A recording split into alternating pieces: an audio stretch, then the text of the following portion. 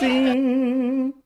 Eu sou o professor Bairros e no tutorial de hoje nós vamos ver Análise AC, estrela triângulo motor AC, parte 1. No tutorial passado eu mostrei que é possível ligar uma carga em estrela numa fonte trifásica na configuração delta. Nesse tutorial vou mostrar o comportamento da corrente nesse tipo de circuito e mais tarde vou exemplificar a aplicação em motores AC trifásicos, mostrando como ligar esses motores em estrela e triângulo e como as tensões de corrente se comportam. Nessa primeira parte vou mostrar a questão da corrente de neutro, completando o tutorial passado. Se você não viu, está na descrição desse vídeo. Vamos lá?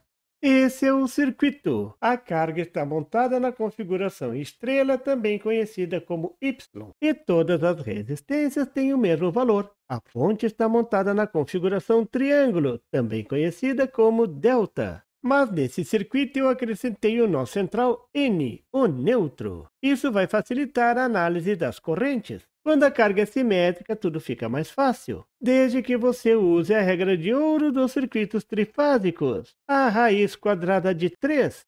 Por exemplo, se nesse circuito as fontes fossem de 380 volts e as resistências de 10 ohm, calcule a corrente que o amperímetro da figura indicaria. Solução. Primeiro de tudo, a carga é balanceada, então dá para aplicar a regra de ouro. Num circuito equilibrado como este, é melhor chamar as tensões de simplesmente tensões de linhas, pois estão ligadas entre as duas fases, e as resistências de resistências de fase, pois estão ligadas entre uma fase e o neutro. Observe que as correntes de linhas, nesse caso, são as correntes nas resistências. Se eu souber a tensão nas resistências, fica fácil calcular as correntes. Para saber a tensão na resistência, é só aplicar a regra de ouro. Para aplicar a regra de ouro, faça a seguinte pergunta. A grandeza vai aumentar ou diminuir? Olhando só para uma resistência, pergunto. A tensão vai aumentar ou diminuir? Claramente vai diminuir. A tensão da fonte V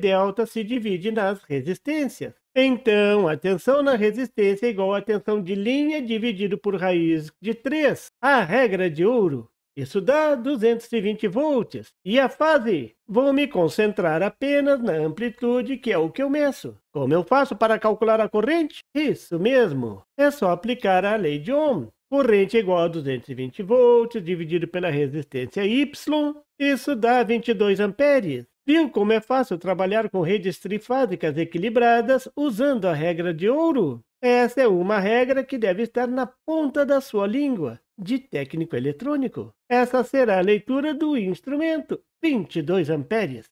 Agora vou tratar da soma das correntes. Note que todas as correntes convergem para o ponto central onde estaria ligado o neutro. Qual será a soma das correntes nesse nó? É só aplicar a lei dos nós. A lei dos nós diz que a soma das correntes no nó é igual a zero. Mas não podemos esquecer que são fasores, então é uma soma vetorial. A amplitude é 22 amperes. Mas e a fase? Como fica? Eu não calculei a fase, mas eu sei que todas as correntes estão defasadas de 120 graus. Essa é uma rede trifásica. Agora vem o pulo do gato. Eu posso tomar uma das correntes por referência, por exemplo, a corrente R, então, a corrente R será 22 amperes, 0 grau. A corrente de linha IS está a 120 graus. A corrente de linha IT está a 240 graus. Agora é só desenhar a soma. Primeira corrente R a 0 grau,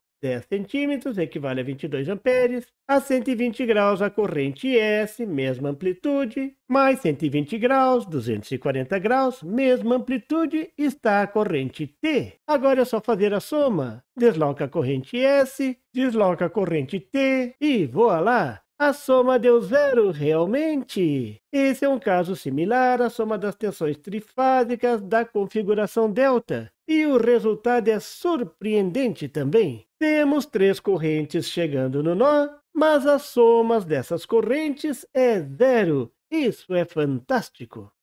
Você viu nesse tutorial que a soma das correntes no neutro da configuração Y é igual a zero. Isso será importante na hora de ligar cargas AC equilibradas, como por exemplo, um motor. Mas como se comporta esse circuito se ligado a uma fonte na configuração Y? Isso veremos no próximo tutorial.